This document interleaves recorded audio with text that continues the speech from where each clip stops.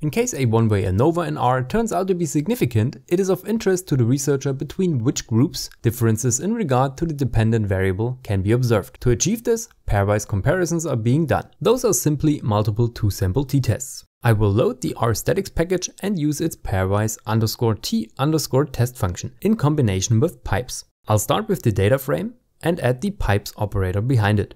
The next line is the pairwise underscore t underscore test function that has the dependent variable followed by the tilde, the small wave symbol, and the group variable. The pool.sd equals true argument should be used when you have equal variances. Since I have unequal variances, I'm using equals false.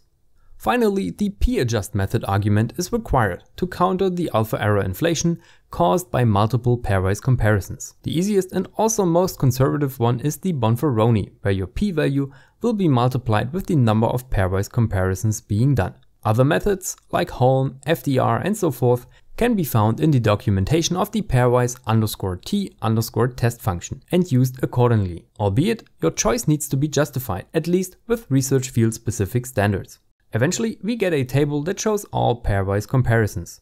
In the last two columns, their respective adjusted p-values are shown as well as significance indicators on the 5% alpha level. In my example, I can observe a difference between no degree and master's degree.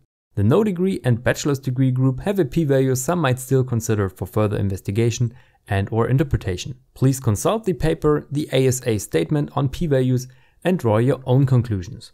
Finally, you might have a significant one-way ANOVA and no low enough p-values in post-hoc testing when controlling for alpha error inflation.